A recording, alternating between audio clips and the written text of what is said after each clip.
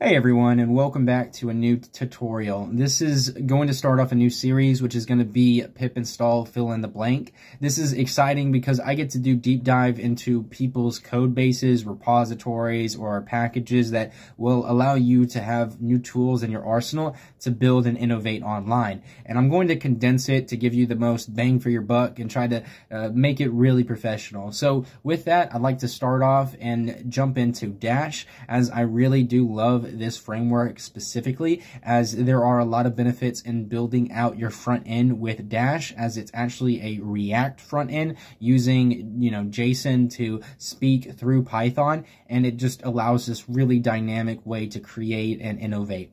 So with that, I want to dive into what was a old video that uh, got pretty popular on my channel, which is uh, Dash Bootstrap Components. We're going to take it to that next level in this video. It has been a while, so we are going to do it justice. And there's nobody who can explain this better than Ann Marie. Ann Marie is somebody that has been contributing to the Dash community for some time now. She is the co-author of the Book of Dash, and as you can see at her GitHub, she contributes a lot of value to this ecosystem, and I'm very grateful to have her in the Plotly community and I would consider her a friend. And with that, uh, let's dive into what is Dash Bootstrap templates. So Anna Marie has set up this amazing um, application that's hosted to give you a real quick bird's eye view of what do you get out of this and what is being brought to the table. So right here is her website, uh, Dash Bootstrap Theme Explorer. And what you can do is you have this way to toggle uh, different themes real fast, quick, easy, and you can get an idea of what am I trying to build here, you know, and how will it look if I design with this styling, and is this what you're really trying to go for? Not only that, but she's implemented ways uh, to cycle and to change from, you know, a dark mode to a light mode, you know, and we're going to explore this a little bit more in depth as we dive into some of the code. But all I wanted to do was just give you a quick example of what is really going on here. And there is nothing better of explaining this than just going to her website, which I will include in the links down below. So you can go through these different themes. Uh, she talks about, you know, an app gallery that you can kind of get an idea of, you know, what each one of these will look like in this styling. I really like this like retro, like penciled, you know, version. I think that this is really unique and it is what will set you apart from everybody else just using a basic template that is provided via, you know, Dash Bootstrap components. Use a theme, you know, take it just that extra notch and it isn't that hard to do and I'm about to show you that. So with this, I'm going to dive into what is her GitHub. I will include this in the links down below. She has done a really amazing job articulating the project through the GitHub itself and through creating an app to represent the GitHub, which is, you know, needed in this day and age to, uh, you know, be a professional developer. So with that, I'm going to dive into her actual project. One of the really great things about GitHub right now is they have introduced code spaces. And if you go to any specific repository, you are allotted two, uh, you know, code spaces that you can quickly bring up and you can, you know, maintain them by just deleting a code space and reintroducing it in a new repository. So this allows me to view the code as it was and I can create changes, I can update it, and I can interact with it and host it directly on, you know, GitHub's machine rather than using my own processing. And it's just an amazing tool. So if you haven't heard of GitHub uh, and you haven't heard of code spaces, at least that, you know, newer side of it, I would highly recommend looking into it because it has completely changed my development perspective and how I really go about interacting with some of these projects. So with this, I have what is uh, the code space. This is what it looks like. You can change the theme if you really want, but all you really need to do is in the terminal, you run a pip install dash bootstrap components. That is all that is needed for this. And with that, you can also install Python. I think if you go into the Explorer, it usually asks you automatically like, hey, I can read this project. I can see it's built in Python. You want to install Python real quick? Just say yes. And with that, you're all set, ready to go. So all I'm doing is I'm just clicking on one of these and I'm right clicking and I'm going to run in file and terminal. And what I get brought up to is this right here. So this is a really good example of showing two things. Uh, one is the themes. So you can go over here and you can change the theme. And as you can see, it jumped into a different theme. I jumped into cyborg. I jumped into style. The other thing is that you need to understand in Dash is that it's compartmentalized and everything is compartmentalized. And that's one thing that I really love about Dash as a language and as a framework. So when you are talking about styling, you need to talk about styling the overall application, but then you also need to talk about styling the individual figures represented in your application because they can all be styled in their own specific way, which allows a lot of, you know, creativity and a lot of ways where you can, you know, get your hands dirty and to create new value and just trying to articulate what is your message. So with this, we have uh, ability to change the template of these graphs. As you can see, if I jump into Seaborn, it's going to change them all to be white. If I go into presentation, it's going to change them all into a little bit larger. Uh, you know, you can go off grid, X off grid. You know, you could go into a different, you know, variety of ways of just, you know, showing what is this information. So with this, I'm going to dive into the repository a little bit and I'm going to kind of talk about it. Uh, this right here is the demo theme uh, change for graphs. And what is happening here is we can see that the majority of the imports are related to Dash. And we have down below a new import that is related to Dash Bootstrap templates. This is really where the magic is coming from in Ann Marie's project and what she's trying to articulate is the ease of use of being able to change the styling of this project and of projects that you're working on real simple. So we are bringing in a theme changer IO component and then templates from URL is the other one that we're bringing in. What is really going on over here is we have the initial start. So this app is basically the initial bringing up the application and how would you like it initially styled. What we are doing here is we have this external style sheets. This is referring to the Dash Bootstrap components, the one that you, she is initially trying to bring in, which is just regular Bootstrap. If we scroll down, we can see that we have figure templates. This is referring to different uh, styling that you could bring into the graph side of things. And what we are doing is we are creating a variable that says change template, which is referring to this theme changer IO component, which is up here that's being brought in. Now, this is dynamic. As we can see, we have an ID, an AIO ID, which is related to theme and we are adding this radio props, which creates this value that is related to the initial one that we're trying to bring into the project. And then we have button props. So with this, uh, we have the change figure, another variable that's related to a div. And we can see that if we look at this, it also has an ID of template so that we can refer to what we're actually trying to change. Uh, outside of that, the sources aren't mattering too much. But this is where the real magic is coming from, is we have this function that is related to the different graphs. So we bring in the template in regards to the graphs, and all we are saying is in this function, whenever it is called, we want to change this template to be represented in the templates variable of this function so that it will update.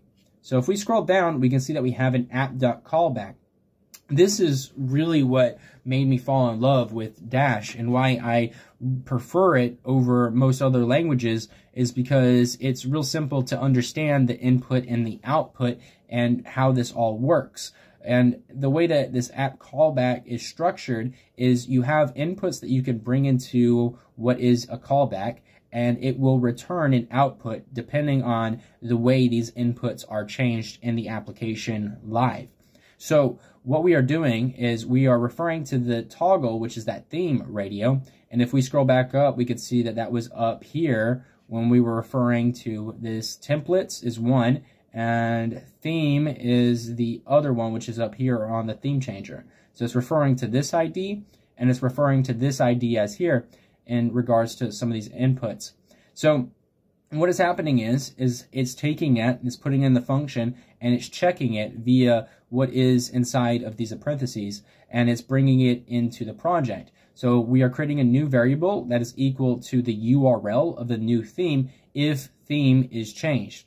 Else, we're going to refer back to the basic theme that we have already set up.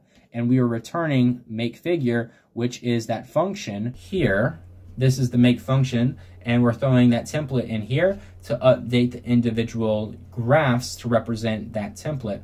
So this is really cool. Uh, only thing I would give uh, as criticism in regards to this project is I would have changed the ports of each one of these specific examples to be different. That way you can run multiple ports at the same time on your operating system rather than having to manually shut it off and then open up a new one because you can only run an application on a single port at a time. So what I also want to dive into is uh, some of the other features of this repository. And I think a really good example is showing the night versus day and how do I get a interactive template to turn on and off between two different themes. So I'm going to jump into what is the demo of the toggle. Now, for the demo of the toggle, she's done a really good job of articulating, you know, above some notes and examples and just kind of explaining the callbacks and what is going on here. We bring in the initial imports, as you can see right above.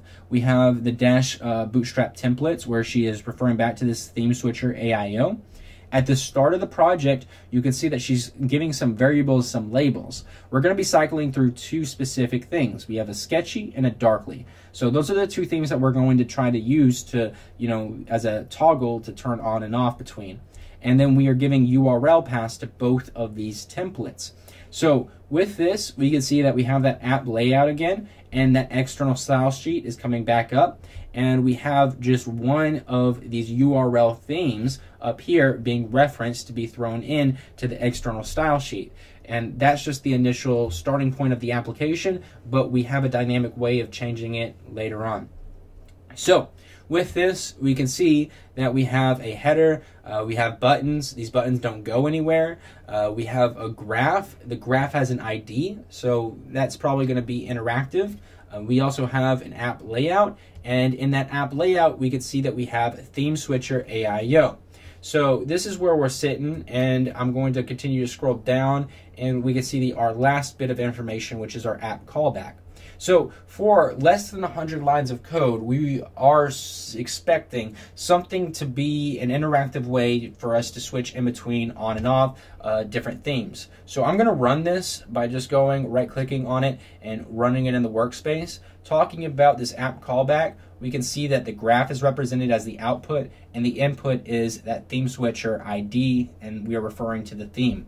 So that is right here and it's taking the value, which the value is represented as toggle in what is this function, and it's referring to this variable where it is saying uh, simple if then statement, if theme one, if toggled, then return theme two.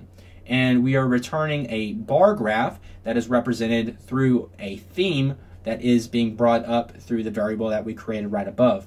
So let's jump into this and I'm going to run into the ports and I'm going to open this in the browser and this is what we're brought up to. So if we toggle this, we can see that it changes styling from a light to a dark. Now, the other thing I want to bring to your attention is, as you can tell, back to how this application works, is we have two different components of this application. It takes a little bit of time for this update because we are first displaying to the initial application, we want this styling. Then, whenever we switch, as you can tell, it takes a second, but it's telling the graph through that callback now we want to update the graph. So that's really what's going on here. And if I dive back into the project, I have one more example that I'd like to bring to your attention before we close out the video. And I'm just trying to keep this real simple and real short. So with everything we have here, this is just an amazing repository to dive into if you are interested in styling your components. The last thing that I want to bring to your attention is going to be the default versus the template. And this is a very interesting one because I want to show you how everything in Dash has the availability of being styled and you can change anything, you know, through force, or you can use what is other people's packages like this one in a simple way to create value. So for this project, we can see that we have the imports right above. Uh, down below, we have the initial theme, which is Vapor. We're using a URL for that theme, and that is being brought in through the external style sheets. We are loading figure template, which is this template theme up above. So this is just matching Vapor. This is matching Vapor here. Going down, we can see that for the most part, this stuff really doesn't entail too much. We can tell that we have an app layout. This ID is giving us two charts. So they are broken up and between two different divs that are the width of half of the page. Because an LG of 6 and an LG of 6 means that you are creating a column of 6 and 6 and you can only have a column of 12 on a specific row. And that's the way that Bootstrap works so with this we have an ID of layout container and we can see that we have a callback that's going to indicate the way that we want to style this project. So I'm going to just go over here and I'm going to run this and I think that this is going to give you a little bit more insight into what I'm talking about. Here we go. We can see that on the left hand side, this is the one styled with the theme that was selected by Ann Marie. And on the right hand side, we can see that this is just a base styling for Plotly. So we can tell the differences between the two. And on the lower side, we could see that we can update the graph via just the different, you know, options that are presented available uh, just through selecting, you know, different ways that we want to present it. And if I dive back into the project, uh, we can see that this is referring to the app callback once again, where we have the three indicators, which are the inputs, uh, the, con the contents, and the slide of the year. So that is just these three different um, components of the application that allow the user to interact with the overall you know scheme and to change things. Um, up above, depending on what is you know toggled, changed, or whatever, it will update the two graphs to be the same. So the only main difference in regards to how they are styled is we have uh, just a template of Plotly, which is just the base styling, where above is being styled by what was created above in this Vapor styling. So with this uh, load figure template, this is really what is changing the styling of the graph itself. So this is where it gets interesting, is if you are trying to just change any graph, it is a, available to update it in any way that you would like. If I want to make the second graph look like the first graph, and it's not going to be you know directly the same, but if I want to just remove the white space just to show an example of how to style one of these graphs, I can go in here and I created this little bit of code right here which should do us justice. This is just basically referring to figure 2 and I'm adding a dot update layout. Within this, you can add a bunch of different parameters to change the title. You can change the background, you can change the foreground, you can, you know, alter it in any way that you would like with CSS. And all I'm doing is, is I'm referring to the paper background color and the plot background color, which are variables presented in the up layout. And I can change it to RGBA 0000. And all that is saying is make it transparent. So with this, if I rerun this application, I'm going to press Control C and that's going to close it off. And if I right click and run one more time in the terminal, we will see what we get out of it. There we are. It might not pass for a seeing eye exam, but it is a starting point. Just to show you how you can start to alter and change these graphs to make them, you know, fit your needs of any individual project. You can brute force it just like that.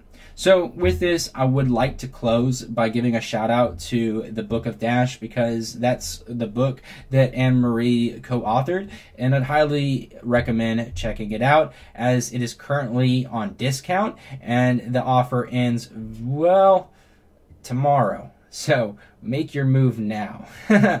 With that, Merry Christmas to everybody. Uh, congratulations for Ann Marie uh, creating such an amazing repository and just producing awesome, you know, work and value in what is the Plotly ecosystem. And I'm excited to continue exploring other people's packages and projects. And if you have anything that you recommend, let me know. And with that, uh, subscribe so you can keep up to date. And I will see you guys in the next video.